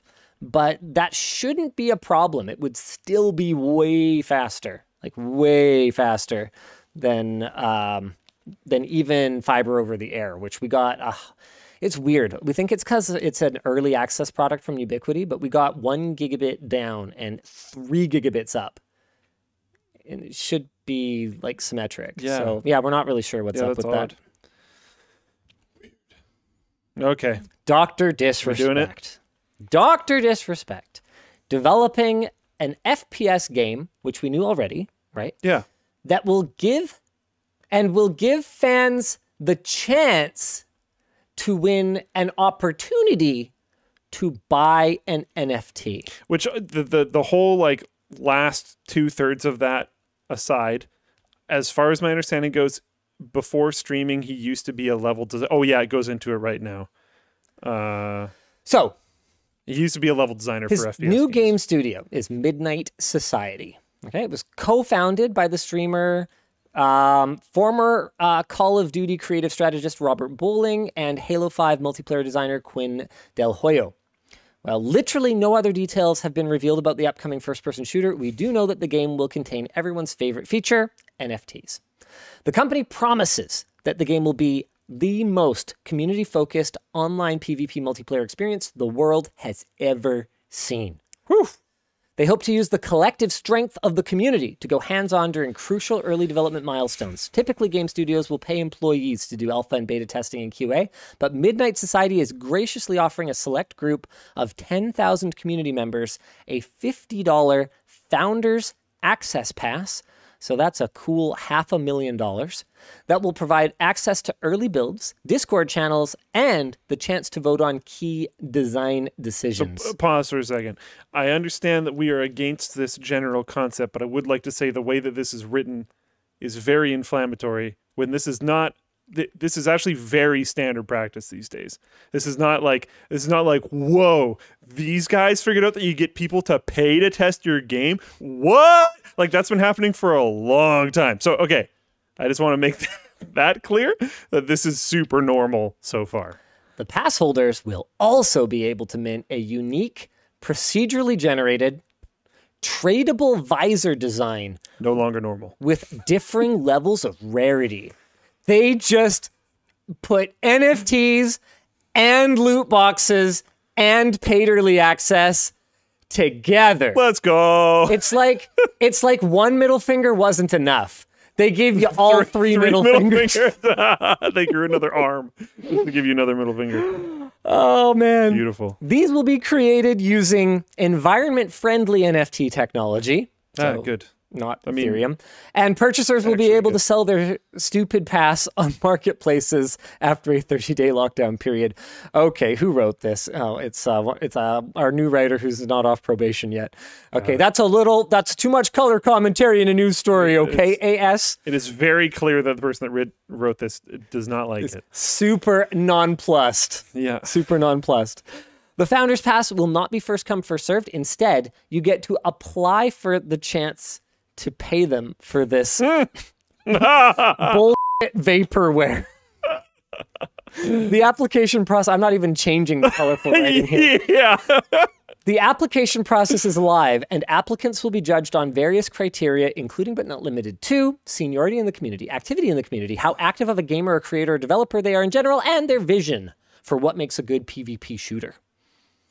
Okay. Founders Pass holders will also get first priority in par- being part of an elite class of rulers within the game and company who get to decide on future items and assets that will be included and sold in the game. Hopefully they get to mint more of them because they're making this sound like an investment, which is just that's brilliant. You know what the worst part it's is? really smart. is that Dr. Disrespect is going to be a billionaire off this project. Oh, it's going to be huge. Yep. Yep, yep, yep. So, should we just like. d- Can I be a billionaire, please? Can we just embrace this? No, Okay. I'll disown you. I know. I disown me. just sucks. Like, pyramid schemes seem like an extremely good way to make money. They're so easy. Yeah. I know. I'm trying to find. Um, Jaden's not- all mad. Jaden, you'll develop what I tell you to develop. I feel like if you got him to make NFTs, that might not actually be the case. I think he might just quit. That's what I'm saying. Yeah. I'm trying to find. I know on the Linus Tech Tips Twitter account, there was something posted very recently. Here it is.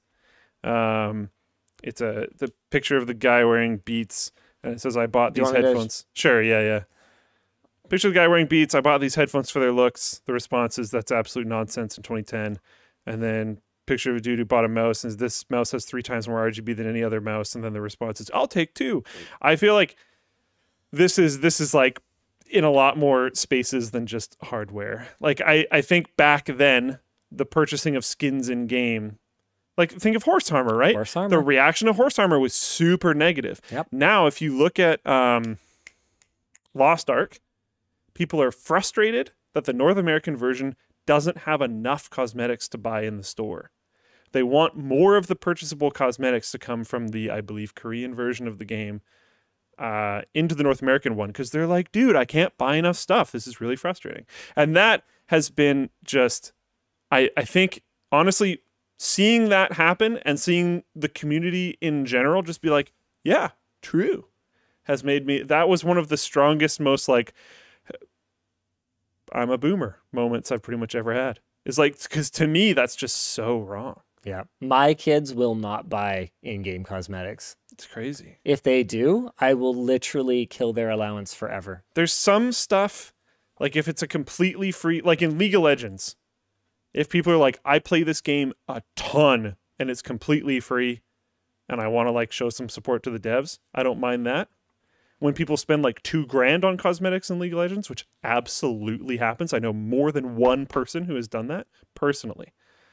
That's when I'm like, dude, what are you doing? It's time to stop. Yeah, like, come And on. to be clear, I'm not talking game functionality, right? Like if you buy, like I know uh, League of Legends has like a character rotation for the ones that you can play for free, right? yeah, Yeah. So if you buy a character that you really like to play, that's at least more akin to an expansion pack. It's actual functionality. and it's a, it's a free game, right? Th- that's another important part to add on top of this. Is it's a free game, um, and Lost Ark is a free game. They do have like a monthly thing. My silent protest is that when. I play. Halo Infinite, which I'm not right now because I'm doing all my gaming on Steam Deck, on the default skin, I I play gray default Chad, dude. default default gray. Yeah, I won't even I won't even use the ones that I earn for free. and it looks. I don't know. It looks good. I I don't really understand. Yeah, I don't know. So there's a few more notes from um, the new writer. Discussion question. This is so stupid. They are selling a monetization scheme and then promising the game will be good. I hate this so much. Is decentralizing game development just a new attempt to avoid paying employees for work? This uses all the classic scam rhetoric. Get in on the ground floor. Just one small investment in the future. Decentralized. Buy now or miss out. Why did you make me read and write about this, Linus? Why? That's not really how the discussion Says- questions are supposed to work. That's uh, new quite writer. an extensive statement. Yeah. that being said, don't really disagree. Yeah, that's- yeah. That's fair. yeah. oh, okay. What else we got? Yeah, that's rough. That's a game I'll I'll never play. Oh, YouTube forces the Vanced app to shut down privateer community in shambles. Uh, I wouldn't say shambles. There are alternatives to Vanced, but I want to get out ahead of this before anyone gets this in their mind because some people did. I had nothing to do with this. Guys, do you imagine, based on the timeline, It's your that fault. this actually aligns with us talking about Vanced in our return YouTube dislike button video? yep. Come on. An organization the size of Google, a problem that's been around as long as Vanced, and you think that they suddenly said, Giddy up, lawyers, here we go? Come on. I have it on good authority. This had nothing to do with me. Nope. Nope. No, not a single person at Google nor YouTube had any idea what Vanced was or Yeah. knew that it existed until they saw your video. That's right. I am the one authority Yeah. that Google employees lean on to learn about technology. Actually, yeah, they don't actually like read or watch anything else. Just Yeah. Linus Tech Tips videos. It's actually a rule that they're not allowed. yes. Yeah. It's illegal. So, the news broke early Sunday with a tweet from the developers. Vanced has been discontinued. In the coming days, the download links on the website will be taken down. We know this is not something you wanted to hear, but it's something we need to do. Thank you all for supporting us over the years. The devs then added Currently installed versions will work just fine until they become outdated in two years or so, but that's a guess. If YouTube is really about making sure that Vanced They'll dies a quick death, there will be some kind of functionality breaking change to the API that will otherwise appear to be arbitrary that will cause Vanced to stop working. YouTube Vanced was a very popular app for Android, primarily due to its ability to block all video ads on YouTube without a subscription to YouTube Premium, as well as enable other functionality that was either Premium exclusive or Vanced exclusive.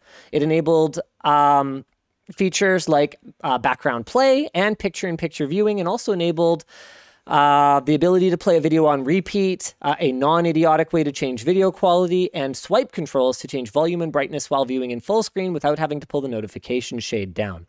Another handy uh, feature was the ability to override max resolution so you could watch 4K video on a 1080p device, allowing for higher bitrate video streams. It also had an all black OLED theme and included the ability to share a video with a timestamp, a feature that is conspicuously missing from the official app, in spite of the fact that I've complained about it to YouTube numerous times. It's actually shocking.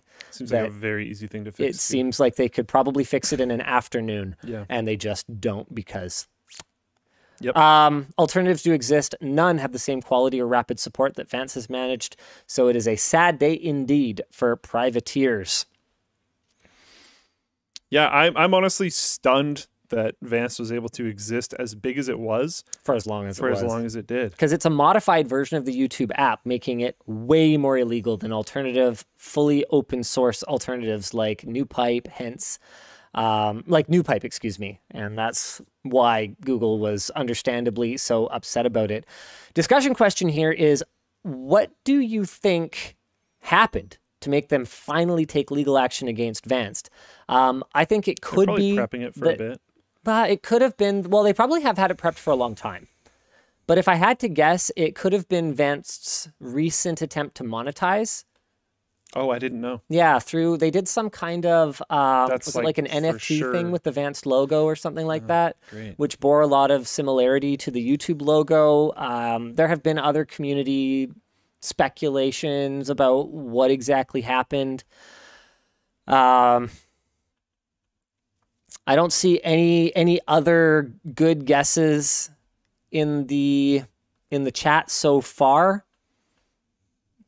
Yeah, that's about it. Uh, our other discussion question is what changes do you think could make the YouTube app better? I mean, a lot of the stuff that Vanced had is just obvious stuff that Google should have already done. I specifically asked a Google contact of mine, like, hey, did, did, did you guys like look at the Vanced app for functionality? And the answer I got was very non-committal. So maybe they do, maybe they don't. I, but the the shared timestamp thing drives me nuts because it's actually not super common that I'll share videos without timestamps these days. Like, Yeah, it's- that's just how I share just things. how you share videos. If it's a if it's a Twitch stream, if it's a Twitch video, if it's a YouTube video, if you whatever, could link to a particular point in an article, you would. That's I'm great. going to. Yeah. exactly. So if I see something on my phone and I'm like, oh, I want to share this with someone, then I'm just like, "Ugh, okay, well now I need to go find a computer or like message this to myself and then I'll do it later because like I don't want to send them the raw link and then tell them to navigate. I do sometimes, but it's not ideal. It feels very ancient whenever you have to do that. Yeah, Why is it. this still a problem? Um, Star Wars Sky says, speaking of privateering, got my ad block shirt in today. Been Nice. wearing it since. Feels amazing. Yeah, the new shirts are super nice. Uh, and a question from Filet Ojava: Are merch messages working? Yeah, they're working. They've been coming up. They've been coming up the whole time. If you mean are they working from a business perspective, the answer is absolutely.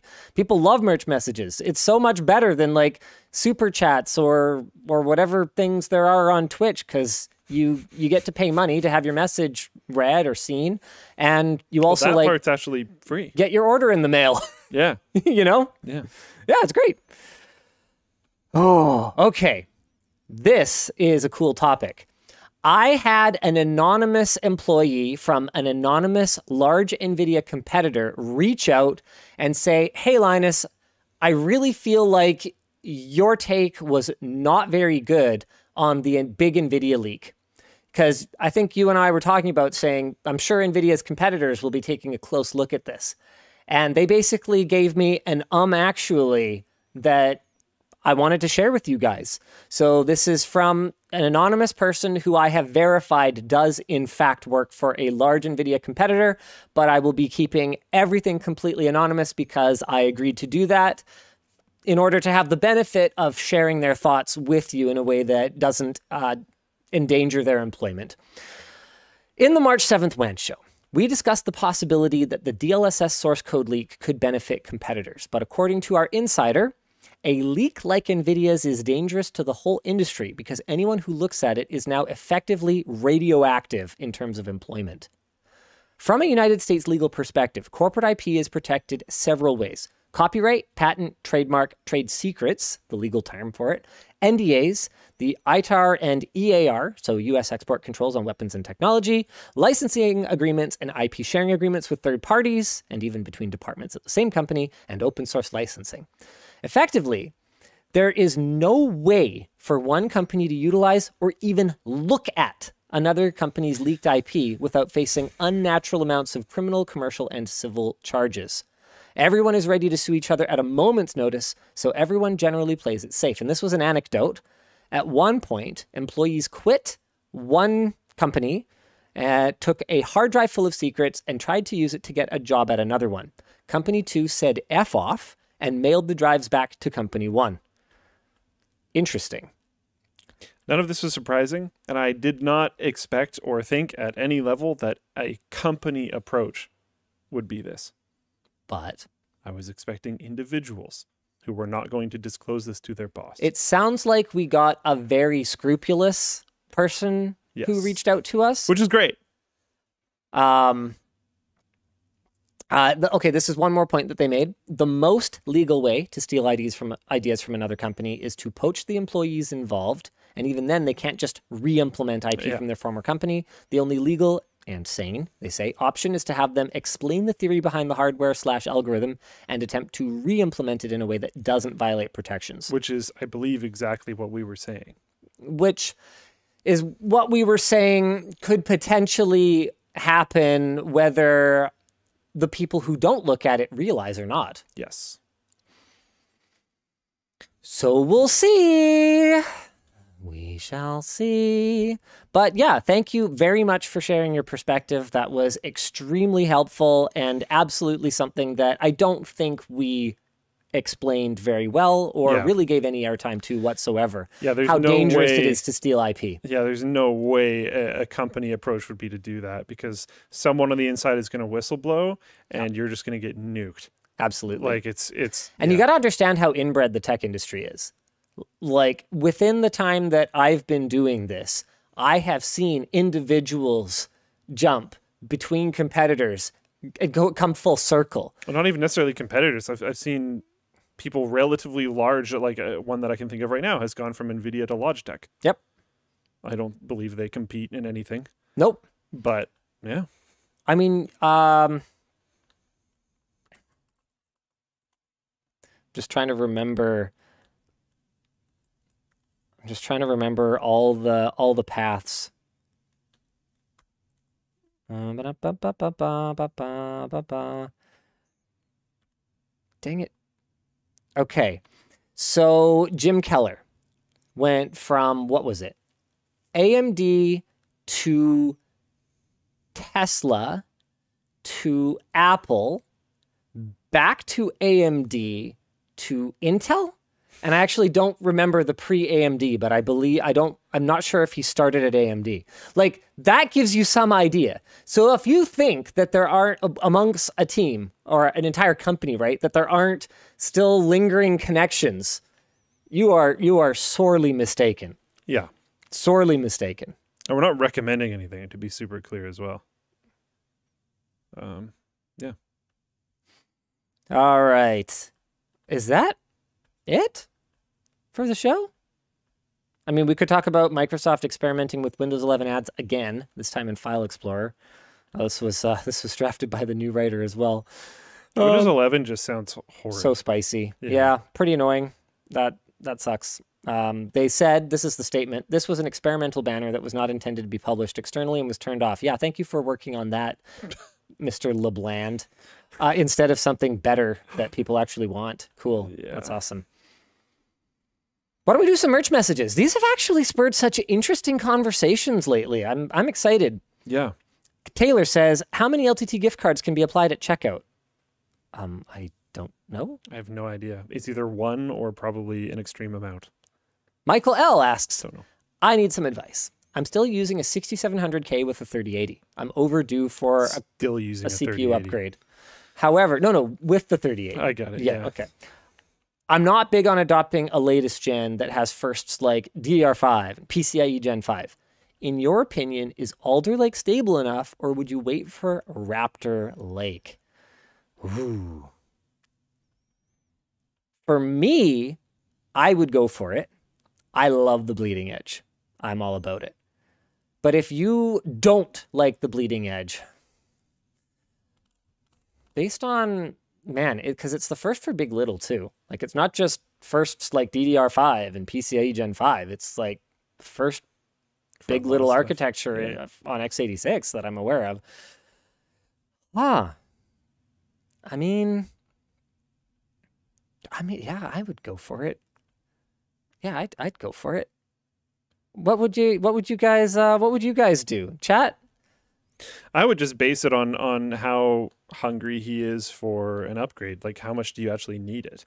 Um, like, what what are you doing with your system, and Yeah. what do you need out of your system? If you don't need an upgrade right now, just wait. There's no way your 6700K is a problem for 60 hertz. That's But if yeah. you're a high refresh rate gamer, then mm, yeah, 12900K would be a big upgrade. 12700K too, actually. It's a really good yeah, like 6700Ks, they're not garbage.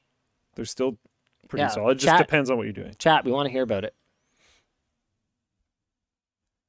A lot of people saying go Zen 3. Yep, Zen 3 is valid and is pretty mature at this point. Total Wire says go 10th gen. Oh, interesting. Okay, go 10th gen. Stay away from Windows 11. Yeah, uh, okay, well, you're going to get a lot of different advice down there. Man, I would just go 12th gen personally, but hard to say. Philip says, What's the possibility of seeing a video focused on Floatplane's operations at some point? I need more Luke videos, and it doesn't seem like Scrapyard Wars will make a return anytime soon. The problem with talking about your like architecture is that a lot of it is like security and IP and We don't, yeah, we don't intend on doing anything like obscurity through, bleh, security through obscurity because that that's garbage anyways. But like, I also don't think it would do very well on the channel. yeah, it's tough. Like I've kind of wondered before about like reaching out to Wendell and like collabing on his channel to talk about some of the stuff that we do. Because like he has videos on like Docker and whatever else and his Yeah. community's into it. But like, You got to understand it's all very software-y. yeah, There's no hardware to show you. It's it's all running in just data centers. rented, yeah, rented space and data centers. We literally can't- can't, show can't- you physical things at all. yeah, the security of those places is crazy. And we're not getting in there. We're not getting inside, so that's Uh, tough. So yeah, I, d- I just don't. Yeah, and it would like actually be a non-trivial amount of work uh, when we have many things to work on. Um, that being said, I think I'm overdue to do a tech quickie or something. So Yeah. and I'm here. I'm here every week. Curtis, I know Scrapyard Wars isn't coming back, but what about build challenges between staff?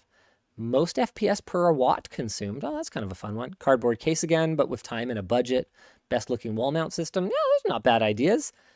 Uh, I know that we're planning to do some kind of like amazing PC building race, and it's a play on Okay, yeah, amazing, race amazing and like. PC race. Yeah, you know, yeah. uh, where we'll have to complete some kind of challenges to get our parts to ultimately build a computer. Okay. I think Intel sponsoring it. It should be fun. I don't know if we have any kind of Scrapyard Warsy things uh, planned for the time being. We do want to revisit cardboard cases though. That was actually really fun. Draven says, "Love the show. Love your server rack home PC setup. Curious what a good solution for routing multiple home server racked gaming PCs to multiple access points would be."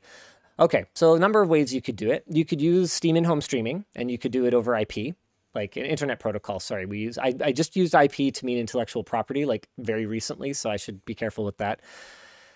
You're not going to get the greatest quality, and there will be a latency delay. So depending on what you're trying to do, it may or may not be the best approach. The way that I am planning to do it, because I haven't actually revealed this yet, but I am planning to make my personal rig accessible from two different locations. Oh, The way that I'm planning to do it is just with optical display port and optical USB running through the wall, both connected to the computer, and the two displays running at the same resolution and cloned. Makes sense. Very rudimentary. I mean, it makes sense though. Like you don't need more than that. two sets of peripherals, Yeah. identical, running at the same DPI settings and everything. Sweet. And it's going to be awesome. Yeah, that sounds great. I, it doesn't need to be more complicated than that. Yeah, my other display will probably wake when I'm doing stuff, which isn't great for security, but I'm at home, so I don't care. Yeah. Yeah. He also said, Luke, hope you get your Steam Deck soon. Uh, yeah, still no email, so yeah, good luck with that. I'm not holding out hope. Uh, Emmanuel asks, "What's your favorite part of your job, and what's the most frustrating part of your job?" Wow. Uh, favorite part? My favorite part is you guys. Aww. Oh, cop out answer. My favorite part is facilitating and witnessing creation of things that like often don't feel possible. Yeah. That's been really cool on the Floatplane side of things. Uh, most frustrating part of my job is mostly talking to vendors. Mm. So you had a pretty good call with one this week. Yeah. Yeah, I saw that. Yep. That was pretty cool. The most Yep. frustrating part of my job is definitely you guys. You send me all kinds of conflicting messages. This was good. We hated this thing. We love you, Linus. We think You can't keep doing this if you crap. want your community to stay behind you. If you don't keep doing this, Yeah. your community's not going to stay behind Yeah, you I know. on the same video. it's it's hard. It's very hard. Yeah. I have it's like I'm always reminded of that scene from Office Space where the guy's explaining like how many different bosses he has and how he spends all his time reporting into people. I feel like I have 14 million bosses, Yeah. all with different deliverables and different temperaments. Yep. Yep. Pretty rough. Jack Stalgia says, Hey Linus and Luke, I remember a while ago you made a video discussing your issues with random battery drain on Samsung phones. Is this an issue you're still experiencing? Currently dealing with this on an S22. I haven't seen it in a couple, I didn't see it um, for a long time on my Note 9, and I haven't seen it at all on my Fold 3. I have to imagine it's some app that manages to vampire the crap out of the battery while battery monitoring apps do not detect it because I couldn't find anything that would pick up what was draining my flippin' battery. I don't know. I only ever experienced it on Samsung phones, but I haven't been able to, and I couldn't reliably replicate it. I don't know. By the way, I think I struck a chord. Um, Floatplane chat sort of exploded after I mentioned the talking with vendors thing. I guess this is a common thing that people don't like. It's the worst. it's it's rough. Yeah. Birdie TX, uh, I'm in the market for a new swat- smartwatch. I've been using the Pebble Steel for nine years. It finally died. I'm sorry to hear that, man. Pebble, pff, so good, so good. Any recommendations? I've been looking at Garmin watches, but LT hasn't LTT hasn't reviewed any yet. Any chance for that in the future? Smartwatch reviews don't perform well for us. I think that's the kind of thing we'd need to create a specific channel, like smart devices and wearables or something like that, because they just there's a lot of people that really care uh, but there's not a really lot of people that care kind of a bit, which is what we actually need.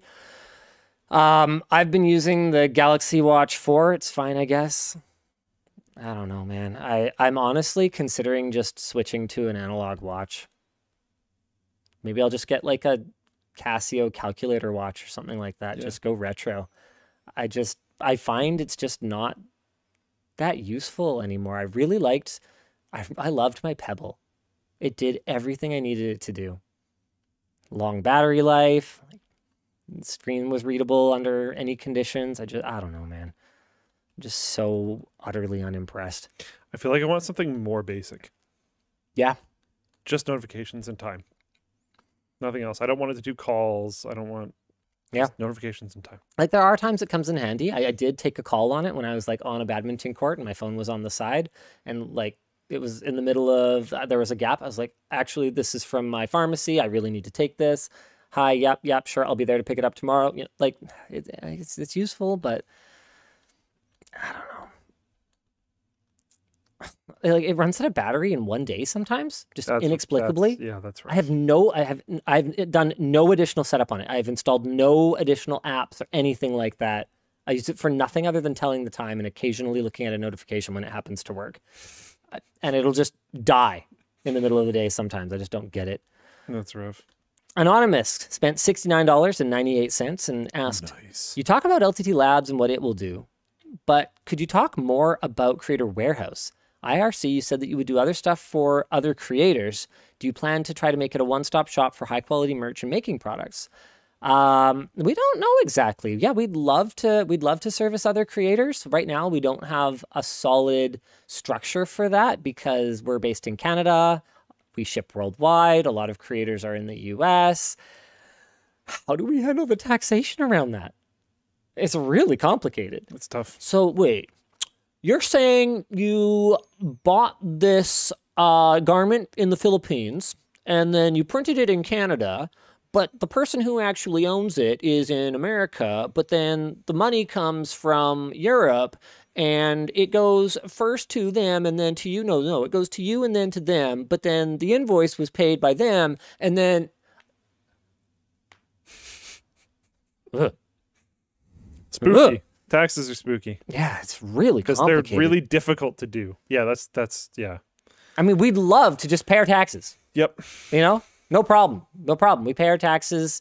And we're, we're glad that we have schools and hospitals and roads and libraries and all that stuff that matters a lot. It's that it's so hard. It's just really complicated. Thanks, lobbying. as for as for making products i mean we want it to just be a place where we like make cool stuff that we think is really cool we had a really cool idea that we found out is patented and we have a call with a lawyer to find out if we can get around the patent with a solution that i think is hilarious because it's how we wanted to do the product anyway that might make it not in violation of the patent i'll explain it to you off camera Okay, sweet. but that one's probably that one's probably a year out anyway. Unlike the screwdriver and backpack, if you're tuning in a little bit late today, on lttstore.com, you can now sign up for an email list that will notify you once the oh whoops sorry sorry that's not what i meant to do uh, uh this one you can sign up for a notification that will tell you when the backpack and the screwdriver are in stock there we go sorry about that and what was I talking about? I don't even remember. Oh yeah. Yeah, we just want to make cool stuff that we think is cool. There you go. Yeah. Last one. Gregory. Been watching the channel for about a year and become a big fan. I'm wondering how you decide how many videos each week to star in. Uh, do you try to hit a certain quota, or is it dependent on how interested you are in your availability? Mostly availability. I try and I try and host and review scripts for as much of it as I can. It's just not always possible, and I trust my team to anything I can't do, they're gonna do. They're gonna kill it. So it's great. Yeah. Yeah, that's that's the great thing about having a team is uh, you know when I have time I do it. And when I'm on vacation or whatever, videos still get made. Amazing, right? How many YouTubers can say that? I'm so proud of the team that we have here. There, that that's my favorite thing about working here is absolutely the team. You guys rock. All right. Cool. Bye. That was abrupt.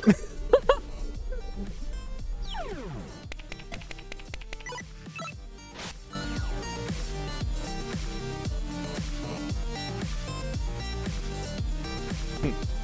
Scobadoo in the Floatplane chat asks, "Wonder if LTT will ever have a U.S.-based operation to make tax stuff easier." Uh, the answer is no, because that would be way harder. I am a Canadian citizen. Ah, owning a U.S. based business as a Canadian citizen, not compli- not complicated at all. Yeah, for sure. Uh, that'd be bad. It would be very, very, very, very, very, very bad. I am pausing the selected, ending the stream, and